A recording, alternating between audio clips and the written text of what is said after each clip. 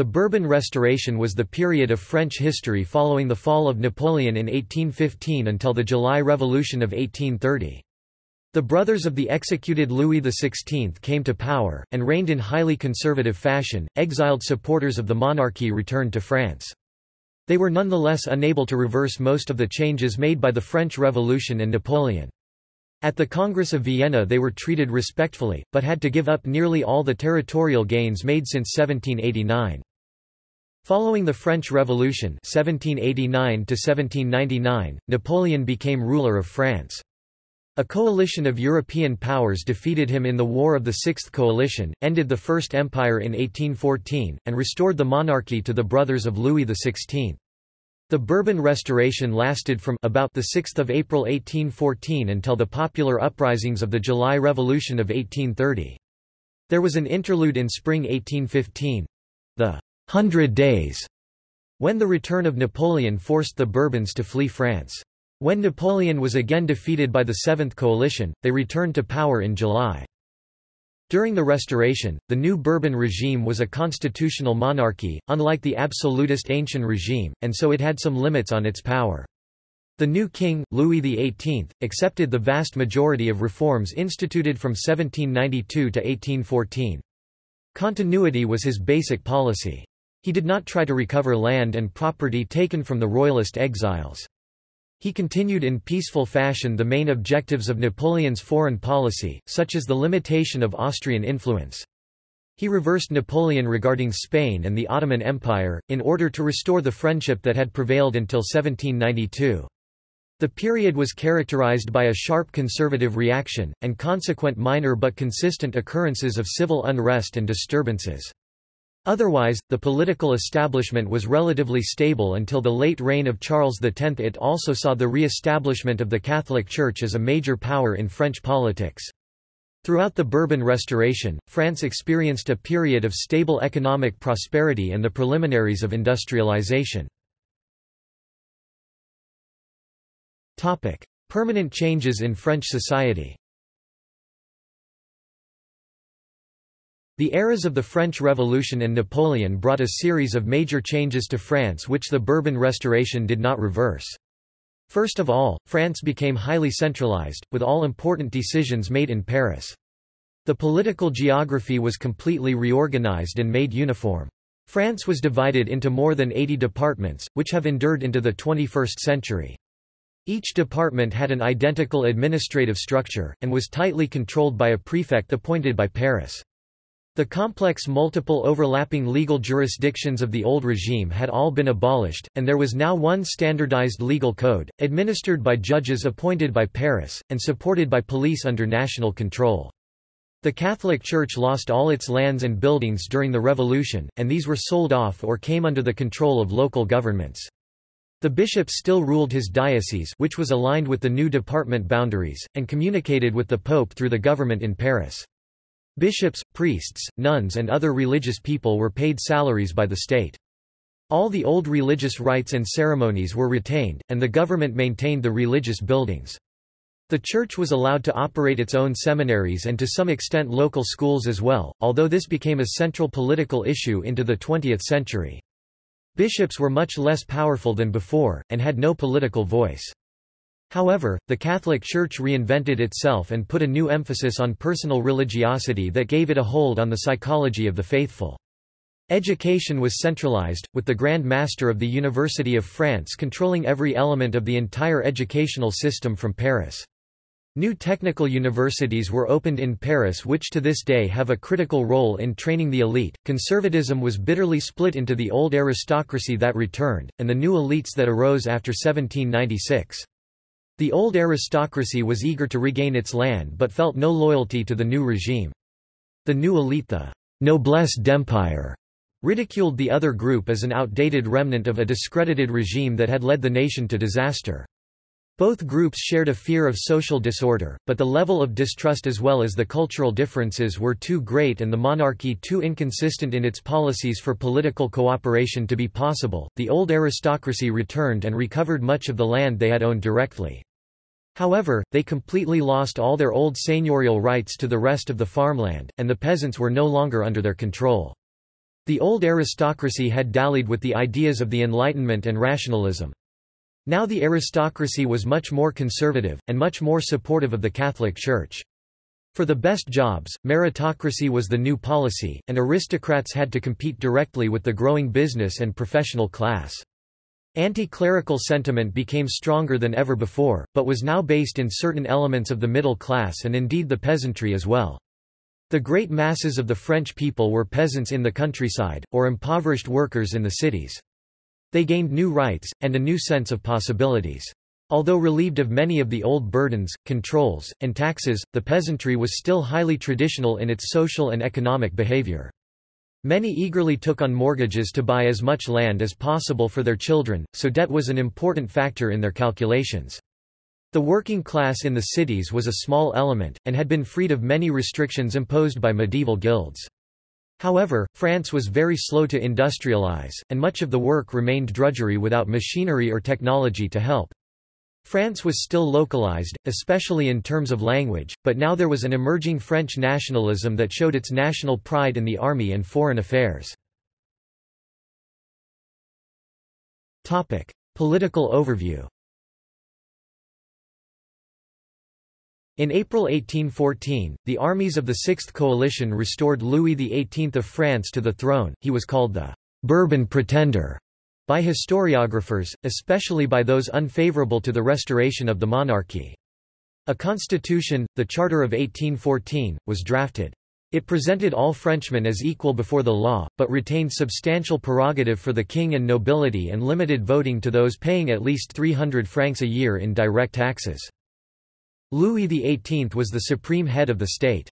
He commanded the land and sea forces, declared war, made treaties of peace, alliance and commerce, appointed to all places of public administration, and made the necessary regulations and ordinances for the execution of the laws and the security of the state. Louis was more liberal than his successor Charles X, choosing many centrist cabinets. Louis XVIII died in September 1824. He was succeeded by his brother, Charles. Charles X pursued a more conservative form of governance than Louis. His ultra-reactionary laws included the Anti-Sacrilege Act 1825 which saw his popularity plummet. The king and his ministers attempted to manipulate the outcome of a general election in 1830, through their July ordinances. The ordinances sparked a revolution against Charles's coup attempt. By 2 August 1830, Charles had fled Paris and abdicated in favour of his grandson Henri, Count of Chambord. Henry's theoretical reign was ended on 9 August when the Chamber of Deputies declared Louis-Philippe d'Orléans, who was currently ruling France as regent, king of the French, thus ushering in the July monarchy. Louis XVIII, 1814–1824 First Restoration 1814. Louis XVIII's restoration to the throne in 1814 was effected largely through the support of Napoleon's former foreign minister, Talleyrand, who convinced the victorious Allied powers of the desirability of a Bourbon restoration. The Allies had initially split on the best candidate for the throne, Britain favoured the Bourbons, the Austrians considered a regency for Napoleon's son, François Bonaparte, and the Russians were open to either the Duc d'Orléans, Louis Philippe, or Jean-Baptiste Bernadotte, Napoleon's former marshal, who was in line for the Swedish throne. Napoleon was offered to keep the throne in February 1814, on the condition that France returned to its 1792 frontiers, but he refused. The feasibility of the restoration was in doubt, but the allure of peace to a war-weary French public, and demonstrations of support for the Bourbons in Paris, Bordeaux, Marseille, and Lyons, helped reassure the Allies. Louis, in accordance with the Declaration of Saint-Ouen, granted a written constitution, the Charter of 1814, which guaranteed a bicameral legislature with a hereditary, appointive Chamber of Peers and an elected Chamber of Deputies. Their role was consultative except on taxation, as only the king had the power to propose or sanction laws laws, and appoint or recall ministers. The franchise was limited to men with considerable property holdings, and just 1% of people could vote. Many of the legal, administrative, and economic reforms of the revolutionary period were left intact, the Napoleonic Code, which guaranteed legal equality and civil liberties, the peasants' biens nationaux, and the new system of dividing the country into départements were not undone by the new king. Relations between church and state remained regulated by the Concordat of 1801. However, in spite of the fact that the charter was a condition of the restoration, the preamble declared it to be a concession and grant given by the free exercise of our royal authority. After a first sentimental flush of popularity, Louis's gestures towards reversing the results of the French Revolution quickly lost him support among the disenfranchised majority. Symbolic acts such as the replacement of the tricolor flag with the white flag, the titling of Louis as the 18, as successor to Louis XVII, who never ruled and as King of France, rather than King of the French, and the monarchy's recognition of the anniversaries of the deaths of Louis XVI and Marie Antoinette were significant. A more tangible source of antagonism was the pressure applied to possessors of biens nationaux by the Catholic Church and returning émigrés attempting to repossess their former lands. Other groups bearing ill feeling towards Louis included the army, non-Catholics, and workers hit by a post-war slump and British imports. The Hundred Days Napoleon's emissaries informed him of this brewing discontent, and, on 20 March 1815, he returned to Paris from Elba. On his route Napoleon, most troops sent to stop his march, including some that were nominally royalist, felt more inclined to join the former emperor than to stop him. Louis was forced to flee Paris to Ghent on 19 March. After Napoleon was defeated in the Battle of Waterloo and sent again into exile, Louis returned. During his absence a small revolt in the traditionally pro-royalist Vendée was put down but there were otherwise few subversive acts favouring the restoration, even though Napoleon's popularity began to flag. Second Restoration 1815. Talleyrand was again influential in seeing that the Bourbons were restored to power, as was Fouché, Napoleon's Minister of Police during the Hundred Days.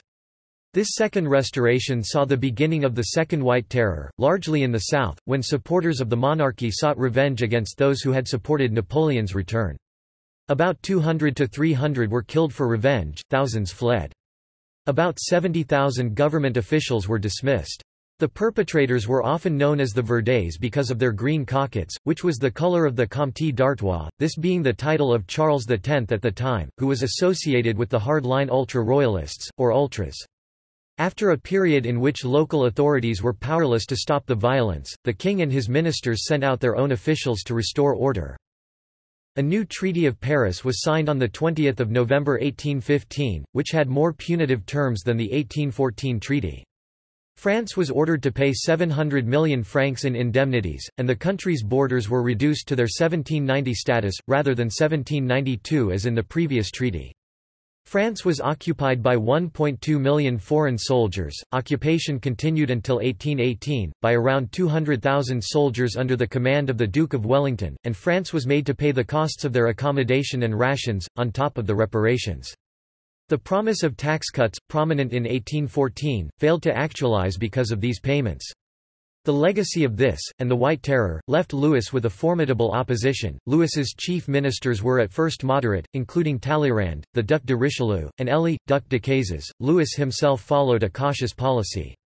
The Chambre introuvable, elected in 1815 and given the nickname, unobtainable, by Louis, due to the overwhelming ultra-royalist majority, threw out the Talleyrand-Fouché government and sought to legitimize the White Terror, passing trial against enemies of the state, sacking 50,000 to 80,000 civil service members, and dismissing 15,000 army officers. Richelieu, an émigré who had left in October 1789, who had had nothing at all to do with the new France, was appointed prime minister. The Chambre introuvable, meanwhile, continued to aggressively uphold the place of the monarchy and the Church, and called for more commemorations for historical royal figures. Over the course of the parliamentary term, the ultra-royalists increasingly began to fuse their brand of politics with state ceremony, much to Louis's chagrin. Decazes, perhaps the most moderate minister, moved to stop the politicization of the National Guard many Verdets had been drafted in by banning political demonstrations by the militia in July 1816. Owing to contrasting standpoints of the chamber and the king, the ultra-royalists began to assert the Chamber of Deputies' rights. This resulted in a concession from the government that the chamber had the right to approve state expenditure, granted after the ultra-royalists attempted to obstruct the 1816 budget.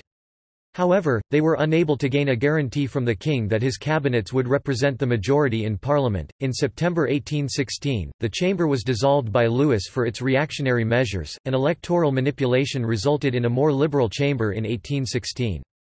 Richelieu served until 29 December 1818, followed by Jean-Joseph, Marquis Dessolles until 19 November 1819, and then Decazes in reality the dominant minister from 1818 to 1820 until 20 February 1820. This was the era in which the doctrinaires dominated policy. The following year, the government changed the electoral laws, resorting to gerrymandering, and altering the franchise to allow some rich men of trade and industry to vote, in an attempt to prevent the ultras from winning a majority in future elections. Press censorship was clarified and relaxed, some positions in the military hierarchy were made open to competition, and mutual schools were set up that encroached on the Catholic monopoly of public primary education.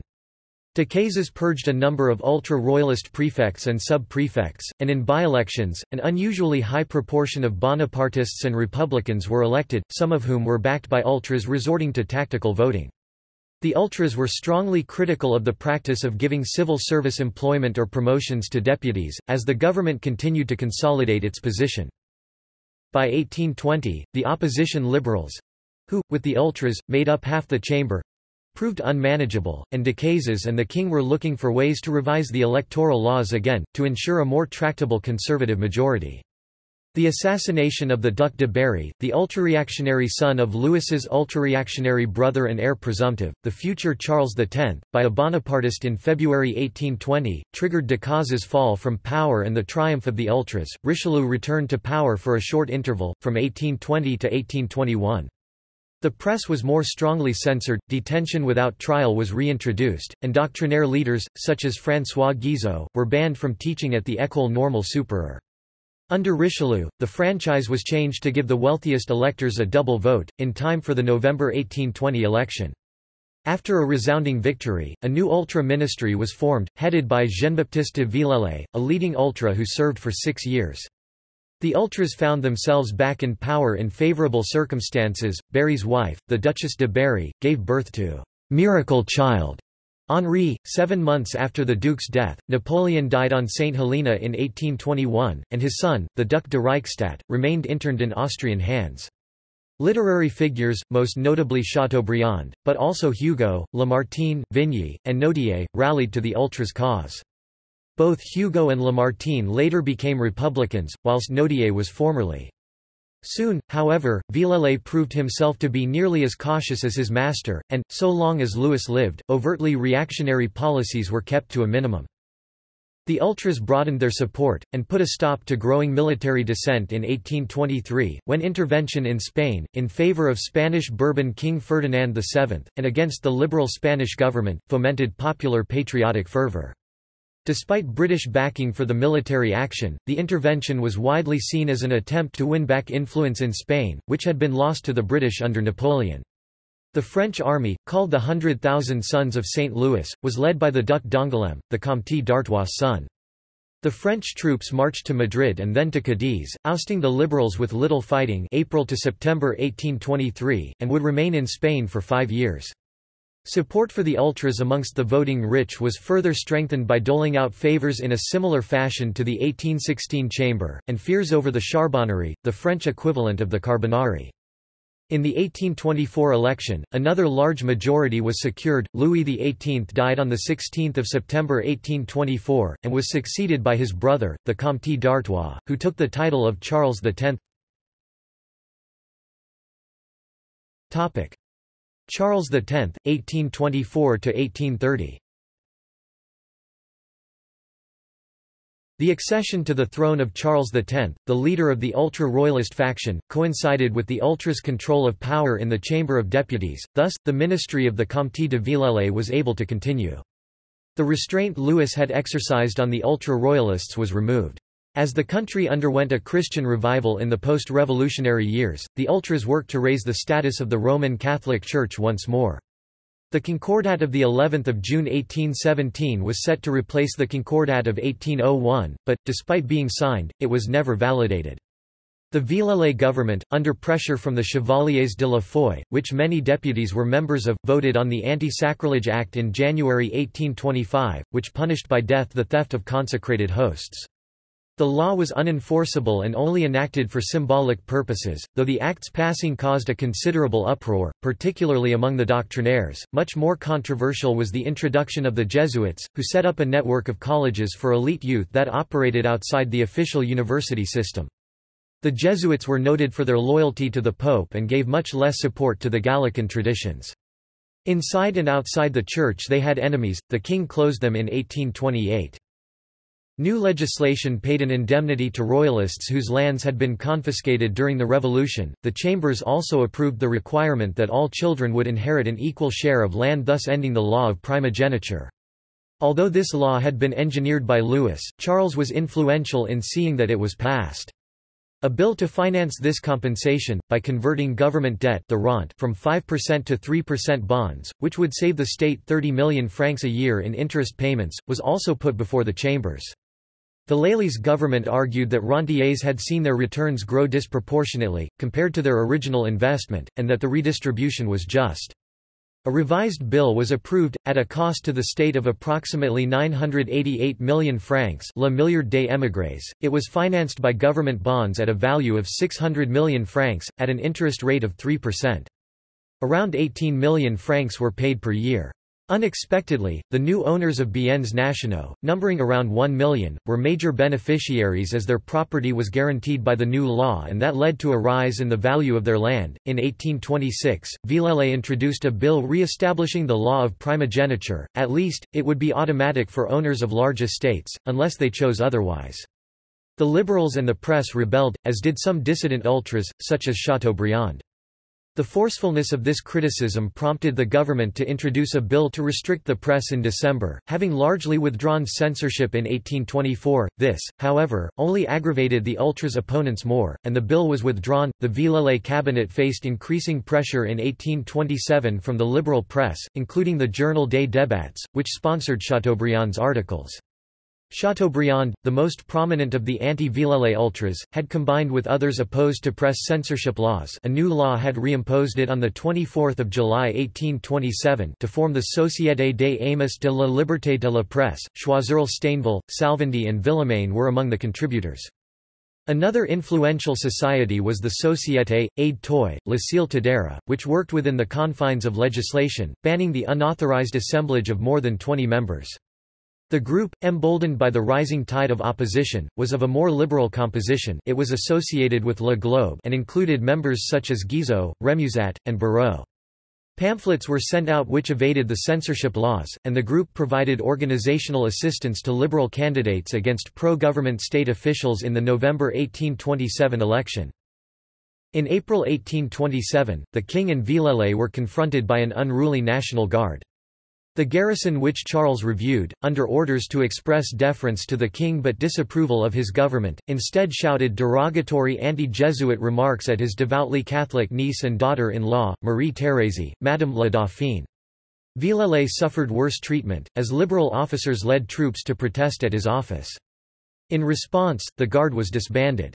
Pamphlets continued to be proliferated, which included accusations in September that Charles, on a trip to the northern departments, was holed up in Saint-Omer, was colluding with the Pope and planned to reinstate the tithe, and had suspended the charter under the protection of a loyal garrison army. By the time of the election, the moderate royalists constitutionalists were also beginning to turn against Charles, as was the business community, in part due to a financial crisis in 1825, that was blamed on the government's passing of the law of indemnification.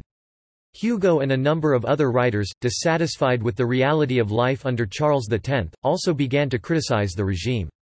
In preparation for the 30th of September registration cutoff for the election, opposition committees worked furiously to get as many voters as possible signed up, countering the actions of prefects, who began removing certain voters who had failed to provide up-to-date documents since the 1824 election. 18,000 voters were added to the 60,000 on the first list, despite prefect attempts to register those who met the franchise and were supporters of the government. This can mainly be attributed to opposition activity. Organization was mainly divided behind Chateaubriand's friends and the Aide-toi, the Aide-toi-backed liberals, constitutionals, and the contra-opposition constitutional monarchists. The new chamber did not result in a clear majority for any side. Villèle's successor, the Vicomte de Martignac, who began his term in January 1828, tried to steer a middle course, appeasing liberals by loosening press controls, expelling Jesuits, modifying electoral registration, and restricting the formation of Catholic schools. Charles, unhappy with the new government, surrounded himself with men from the Chevaliers de la Foi and other ultras, such as the Prince de Polignac and La Bourdonnais. Martignac was deposed when his government lost a bill on local government. Charles and his advisers believed a new government could be formed with the support of the Villèle, Chateaubriand, and Decazes monarchist factions, but chose a chief minister, Polignac, in November 1829 who was repellent to the liberals and, worse, Chateaubriand. Though Charles remained nonchalant, the deadlock led some royalists to call for a coup, and prominent liberals for a tax strike. At the opening of the session in March 1830, the king delivered a speech that contained veiled threats to the opposition. In response, 221 deputies an absolute majority condemned the government, and Charles subsequently prorogued and then dissolved parliament. Charles retained a belief that he was popular amongst the unenfranchised mass of the people, and he and Polignac chose to pursue an ambitious foreign policy of colonialism and expansionism, with the assistance of Russia. France had intervened in the Mediterranean a number of times after Villèle's resignation, and expeditions were now sent to Greece and Madagascar. Polignac also initiated French colonization in Algeria. Victory was announced over the Dey of Algiers in early July. Plans were drawn up to invade Belgium, which was shortly to undergo its own revolution.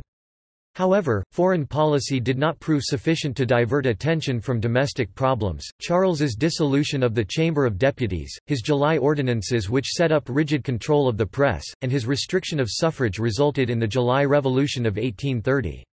The major cause of the regime's downfall, however, was that, while it managed to keep the support of the aristocracy, the Catholic Church and even much of the peasantry, the ultras' cause was deeply unpopular outside of parliament and with those who did not hold the franchise, especially the industrial workers and the bourgeoisie. A major reason was a sharp rise in food prices, caused by a series of bad harvests 1827 to 1830.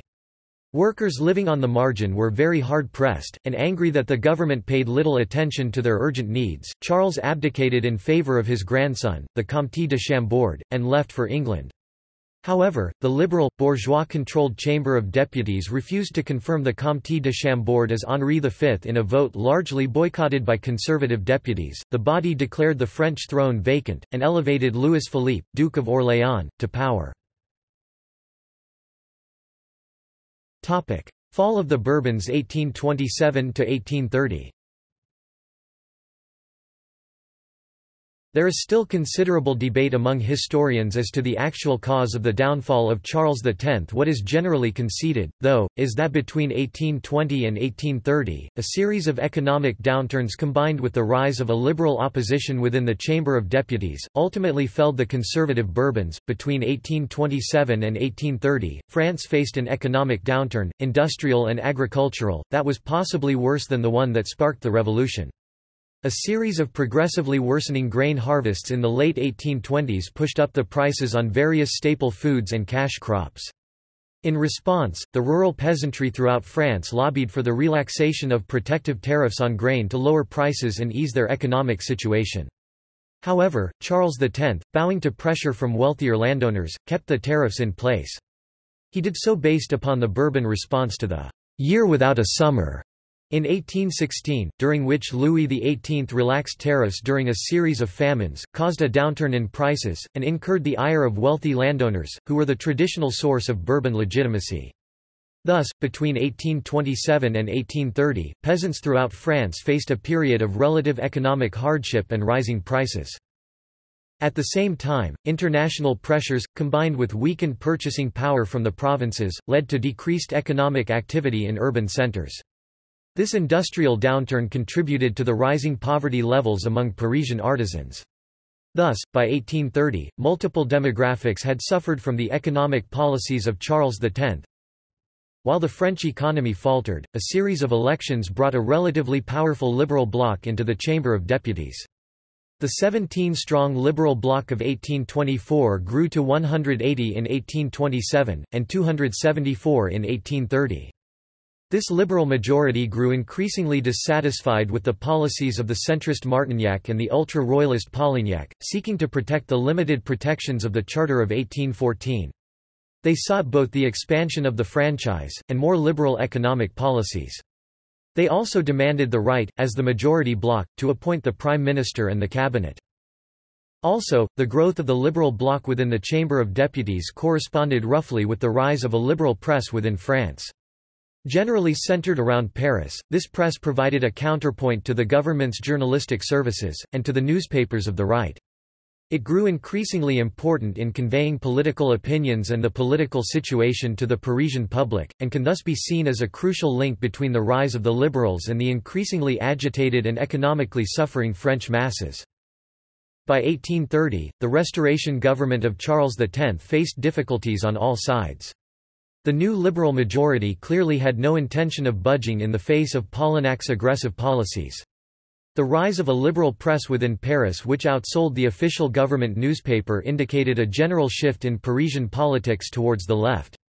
And yet, Charles's base of power was certainly toward the right of the political spectrum, as were his own views. He simply could not yield to the growing demands from within the Chamber of Deputies.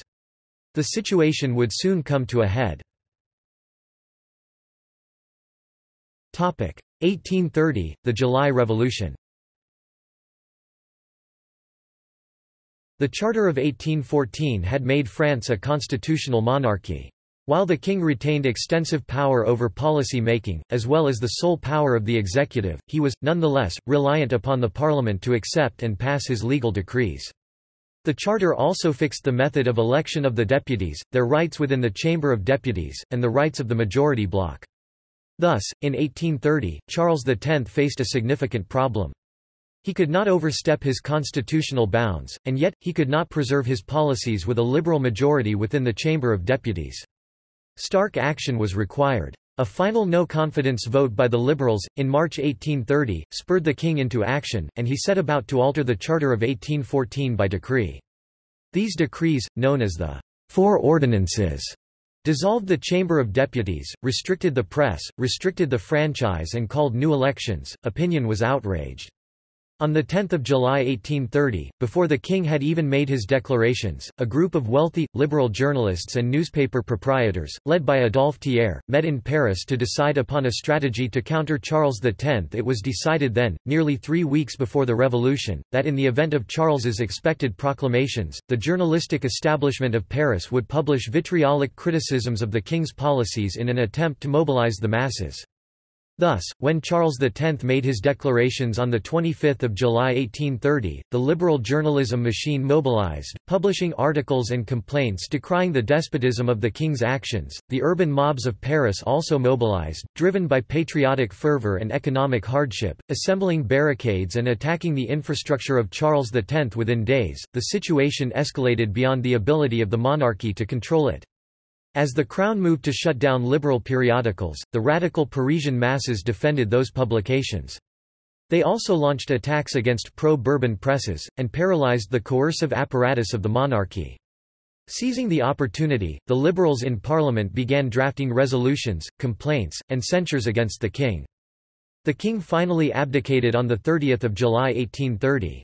Twenty minutes later, his son, Louis Antoine, Duke of Angoulême, who had nominally succeeded as Louis XIX, also abdicated. The crown nominally then fell upon the son of Louis Antoine's younger brother, Charles X's grandson, who was in line to become Henri V. However, the newly empowered Chamber of Deputies declared the throne vacant, and on 9 August, elevated Louis Philippe, to the throne. Thus, the July monarchy began. Louis Philippe and the House of Orléans Louis Philippe ascended the throne on the strength of the July Revolution of 1830, and ruled, not as «King of France», but as «King of the French», marking the shift to national sovereignty. The Orléanists remained in power until 1848. Following the ousting of the last king to rule France during the February 1848 revolution, the French Second Republic was formed with the election of Louis Napoléon Bonaparte as president 1848 -1852. In the French coup of 1851, Napoleon declared himself Emperor Napoleon III of the Second Empire, which lasted from 1852 to 1870. Political parties under Restoration Political parties saw substantial changes of alignment and membership under the Restoration. The Chamber of Deputies oscillated between repressive ultra-royalist phases and progressive liberal phases. Opponents of the monarchy were absent from the political scene, because of the repression of the White Terror. Individuals of influence who had different visions of the French constitutional monarchy clashed, all parties remained fearful of the common people, whom Adolphe Thiers later referred to by the term, cheap multitude. Their political sights were set on a favoritism of class. Political changes in the chamber were due to abuse by the majority tendency, involving a dissolution and then an inversion of the majority, or critical events, for example, the assassination of the Duc de Berry in 1820. Disputes were a power struggle between the powerful royalty against deputies rather than a fight between royalty and populism. Although the deputies claimed to defend the interests of the people, most had an important fear of common people, of innovations, of socialism and even of simple measures, such as the extension of voting rights. The principal political parties during the Restoration were Ultra-Royalists The ultra-royalists wished for a return to the ancient regime, such as before 1789, with a view toward absolutism, domination by the nobility and other devoted Christians. They were anti-republican, anti-democratic, and preached government on high, by a marked noble elite. They tolerated vote censitaire, a form of democracy limited to those paying taxes above a high threshold. Ultra-royalists were interested in preserving aristocracy and promoting absolutism. They found the Charter of 1814 to be too revolutionary. The ultra-royalists wanted a return to absolute monarchy, the re-establishment of privileges, and a king. Charles X prominent ultra-royalist theorists were Louis de Bonald and Joseph de Maistre. Their parliamentary leaders were François-Régis de la Bourdonnais, Comte de la Bretèche and, in 1829, Jules de Polignac. Their main newspapers were Le Quotidien and La Gazette. Other royalist papers included the Drapeau Blanc, named after the Bourbon white flag, and the Oriflamme, named after the battle standard of France. Topic: Constitutionals and doctrinaires.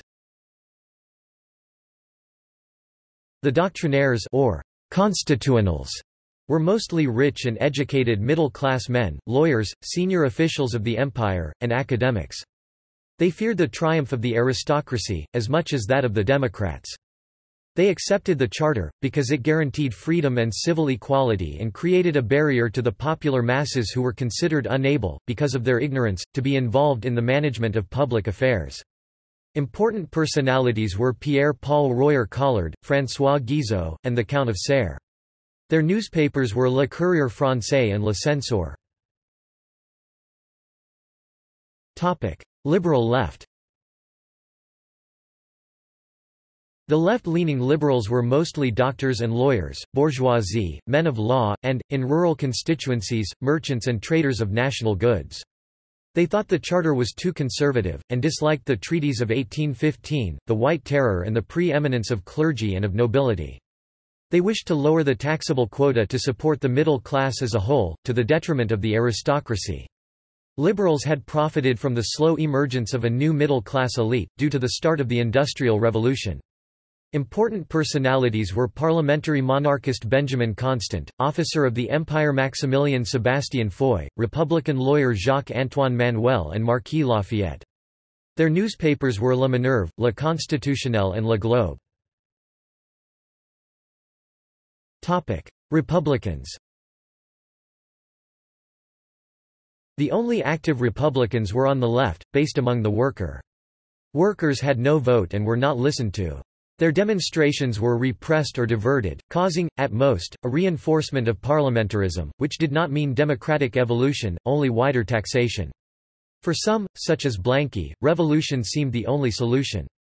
Garnier Pages, and Louis Eugene and Éléonore Louis Godefroy Cavaignac considered themselves to be Republicans, while Cabot and Raspail were active as socialists. Saint-Simon was also active during this period, and made direct appeals to Louis XVIII before his death in 1824. Religion By 1800 the Catholic Church was poor, dilapidated and disorganized, with a depleted and aging clergy. The younger generation had received little religious instruction, and was unfamiliar with traditional worship. However, in response to the external pressures of foreign wars, religious fervor was strong, especially among women. Napoleon's Concordat of 1801 provided stability and ended the attacks. With the Restoration the Catholic Church again became the state religion and was favored financially and politically. Its lands and financial endowments were not returned, but now the government paid salaries and maintenance costs for normal church activities. The bishops had regained control of Catholic affairs. The aristocracy before the Revolution did not place a high priority on religious doctrine or practice. The decades of exile created a alliance of throne and altar. The royalists who returned were much more devout, and much more aware of their need for a close alliance with the Church. They had discarded fashionable skepticism and now promoted the wave of Catholic religiosity that was sweeping Europe, with a new regard to the Virgin Mary, the saints, and popular religious rituals such as saying the Rosary. Devotionalism and was far stronger in rural areas, and much less noticeable in Paris and the other cities. The population of 32 million included about 680,000 Protestants, and 60,000 Jews. They were tolerated. Anti-clericalism of the sort promoted by the Enlightenment and writers such as Voltaire had not disappeared, but it was in recession. At the elite level, there was a dramatic change in intellectual climate from the dry intellectually oriented classicism to emotionally based romanticism. A book by François-René de Chateaubriand entitled Génie du Christianisme the Genius of Christianity 1802 had an enormous influence in reshaping French literature and intellectual life. The book emphasized the power of religion in creating European high culture. Chateaubriand's book did more than any other single work to restore the credibility and prestige of Christianity in intellectual circles and launched a fashionable rediscovery of the Middle Ages and their Christian civilization. The revival was by no means confined to an intellectual elite, however, but was evident in the real, if uneven, rechristianization of the French countryside. Economy With the restoration of the Bourbons in 1814, the reactionary aristocracy with its disdain for entrepreneurship returned to power. British goods flooded the market, and France responded with high tariffs and protectionism, to protect its established businesses especially handcrafts and small-scale manufacturing such as textiles. The tariff on iron goods reached 120%. Agriculture had never needed protection, but now demanded it from the lower prices of imported foodstuffs, such as Russian grain. French winegrowers strongly supported the tariff, their wines did not need it, but they insisted on a high tariff on the import of tea. One agrarian deputy explained, Tea breaks down our national character by converting those who use it often into cold and stuffy Nordic types, while wine arouses in the soul that gentle gaiety that gives Frenchmen their amiable and witty national character. The French government falsified the statistics to claim that exports and imports were growing, actually there was stagnation and the economic crisis of 1826–29 disillusioned the business community and readied them to support the revolution in 1830. Art and literature Romanticism reshaped art and literature. It stimulated the emergence of a wide new middle-class audience. Among the most popular works were Les Miserables, Victor Hugo's novel which is set in the 20 years after Napoleon's Hundred Days The Red and the Black, Stendhal's novel set in the final years of the regime La Comédie Humaine, a sequence of almost 100 novels and plays by Honoré de Balzac, set during the Restoration and the July Monarchy. Paris The city grew slowly in population from 714,000 in 1817 to 786,000 in 1831. During the period Parisians saw the first public transport system, the first gas street lights, and the first uniformed Paris policemen. In July 1830, a popular uprising in the streets of Paris brought down the Bourbon monarchy.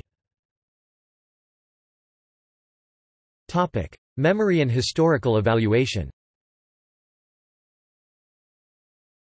After two decades of war and revolution, the Restoration brought peace and quiet, and general prosperity. Gordon Wright says, Frenchmen were, on the whole, well-governed, prosperous, contented during the 15-year period. One historian even describes the Restoration era as one of the happiest periods in France's history. France had recovered from the strain and disorganization, the wars the killings, the horrors, of two decades of disruption. It was at peace throughout the period. It paid a large war indemnity to the winners, but managed to finance that without distress. The occupation soldiers left peacefully. Population increased by 3 millions, and prosperity was strong from 1815 to 1825, with the Depression of 1825 caused by bad harvests. The national credit was strong, there was significant increase in public wealth, and the national budget showed a surplus every year. In the private sector, banking grew dramatically, making Paris a world center for finance, along with London. The Rothschild family was world famous, with the French branch led by James Mayer de Rothschild (1792–1868). The communication system was improved, as roads were upgraded, canals were lengthened, and steamboat traffic became common. Industrialization was delayed in comparison to Britain and Belgium. The railway system had yet to make an appearance. Industry was heavily protected with tariffs, so there was little demand for entrepreneurship or innovation. Culture flourished with the new romantic impulses. Oratory was highly regarded, and debates were very high standard. Chateaubriand and Madame de Staël (1766–1817) enjoyed Europe-wide reputations for their innovations in Romantic literature. She made important contributions to political sociology, and the sociology of literature. History flourished. François Guizot, Benjamin Constant, and Madame de Staël drew lessons from the past to guide the future. The paintings of Eugene Delacroix set the standards for Romantic art. Music, theatre, science, and philosophy all flourished. The higher learning flourished at the Sorbonne. Major new institutions gave France world leadership in numerous advanced fields, as typified by the École nationale des chartes 1821 for historiography, the École centrale des arts et manufactures in 1829 for innovative engineering, and the École des beaux-arts for the fine arts, re-established in 1830. Charles X repeatedly exacerbated internal tensions, and tried to neutralize his enemies with repressive measures. They totally failed and forced him into exile for the third time. However the government's handling of foreign affairs was a success. France kept a low profile, and Europe forgot of its animosities. Louis and Charles had little interest in foreign affairs, so France played only minor roles. For example, it helped the other powers deal with Greece and Turkey.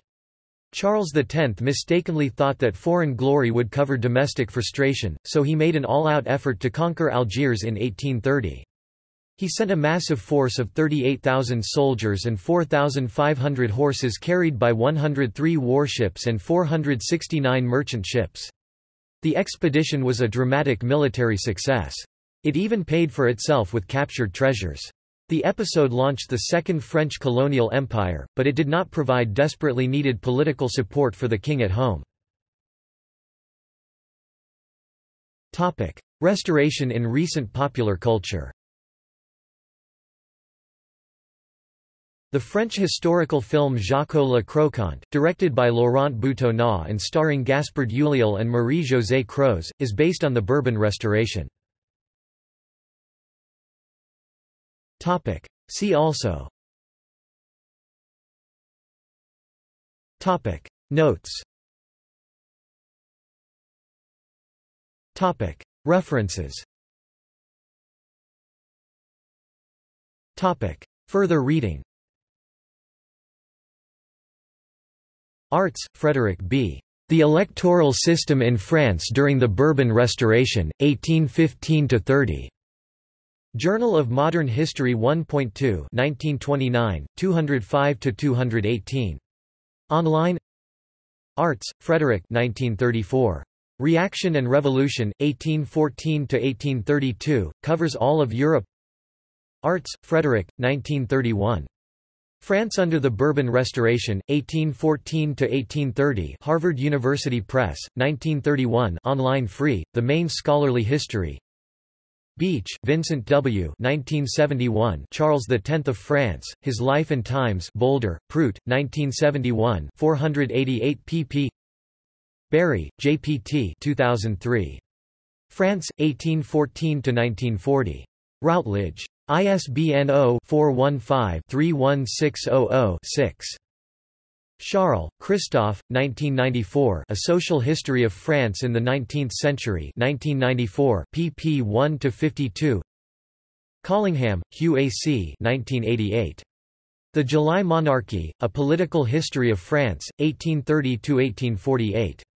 London, Longman. ISBN 0-582-02186-3. Counter, Andrew J. A Nation of Foreigners, Chateaubriand and Repatriation. 19th-century French Studies 46.3 2018, 285–306, online Crawley, C. W. 1969. The New Cambridge Modern History. Volume 9, War and Peace in an Age of Upheaval, 1793–1830. Cambridge, Cambridge UP. ISBN 978-0-521-04547-6. Davies, Peter 2002. The Extreme Right in France, 1789 to the Present, From de Maistre to Le Pen. Routledge. ISBN 0-415-23982-6. Fortescue, William, 1988 Revolution and Counter-Revolution in France, 1815–1852 Blackwell, 1988. Fozzard, Irene. The Government and the Press in France, 1822–1827. English Historical Review 66.258 1951, 51–66, online Furet, François. Revolutionary France 1770–1880 1995, pp 269–325, Survey of Political History by leading scholar Hall, John R. The Bourbon Restoration 1909 online free Hudson, Nora Eileen 1973. Ultra-Royalism and the French Restoration. Octagon Press. ISBN 0-374-94027-4. Jardin, André, and André Jean Tudesq. Restoration and Reaction 1815–1848 1988. Kent, Sherman 1975. The Election of 1827 in France. Harvard UP. ISBN 0-674-24321-8. Kelly, George A. Liberalism and Aristocracy in the French Restoration. Journal of the History of Ideas 26.4 1965, 509–530, online Kieswetter, James K. The Imperial Restoration, Continuity in Personnel and Policy under Napoleon I and Louis XVIII. Historian 45.1 1982, 31–46, online Knapton, Ernest John, 1934. Some Aspects of the Bourbon Restoration of 1814. Journal of Modern History 1934 6 No. 4 pp. 405–424, in JSTOR Kroen, Cheryl T. Winter 1998. Revolutionizing Religious Politics During the Restoration. French Historical Studies. 21 1, 27–53 doi 10.2307 286925 JSTOR 286925 Lucas-Dubreton, J. The Restoration and the July Monarchy 1929, pp 1–173. Merriman, John M. ed. 1830 in France 1975, seven long articles by scholars. Newman, Edgar Leon March 1974. The Blouse and the Frock Coat, The Alliance of the Common People of Paris with the Liberal Leadership and the Middle Class during the Last Years of the Bourbon Restoration. The Journal of Modern History. 46 26–59 doi 10.1086 241164 Newman, Edgar Leon, and Robert Lawrence Simpson. Historical Dictionary of France from the 1815 Restoration to the Second Empire Greenwood Press, 1987 online edition Pilbeam, Pamela June 1989. The Economic Crisis of 1827–32 and the 1830 Revolution in Provincial France. The Historical Journal. 32 2. Pilbeam, Pamela June 1982. The Growth of Liberalism and the Crisis of the Bourbon Restoration, 1827–1830. The Historical Journal. 25 351–366 doi 10.1017 S00182446X00011596 Pilbeam, Pamela 1999 Alexander, Martin S., ed. French History since Napoleon. Arnold. ISBN 0-340-67731-7. Pinkney, David. The French Revolution of 1830 1972. Price, Munro, 2008. The Perilous Crown, France Between Revolutions. Pan. ISBN 978-0-330-42638-1. Rader, Daniel L. 1973. The Journalists and the July Revolution in France. The Hague, Martinus Nijhoff. ISBN 90-247-1552-0. De Sauvigny, Guillaume de Bertier. The Bourbon Restoration 1966. Tombs, Robert 1996. France 1814–1914. London, Longman. ISBN 0-582-49314-5. Stewart, John Hall. The Restoration Era in France, 1814-1830-1968-223 pp. Wolf, John B. 1940 France, 1815 to the present 1940 online free pp 1 to 75. Topic: Historiography. Alexander, Robert 2003. Rewriting the French Revolutionary Tradition, Liberal Opposition and the Fall of the Bourbon Monarchy. Cambridge UP. ISBN 0-521-80122-2. Sauvigny, G. de Bertier Spring 1981. The Bourbon Restoration, One Century of French Historiography. French Historical Studies. 12 41–67 doi 10.2307 286306 JSTOR 286306 Topic Primary sources Collins, Irene, ed. Government and Society in France, 1814–1848 1971, pp 7–87. Primary sources translated into English. Lindsann, Olchar e ed. Liberté, Vol. 2, 1827–1847 2012 original documents in English translation regarding politics, literature, history, philosophy, and art. Online free, 430 pp. Stewart, John Hall ed. The Restoration Era in France, 1814-1830-1968-222 pp. Excerpts from 68 primary sources, plus 87 pp. Introduction External links